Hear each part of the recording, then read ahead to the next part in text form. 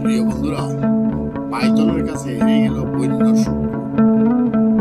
ভিডিওটা ভালো লাগলে লাইক করতে ভুলবেন না বন্ধুরা।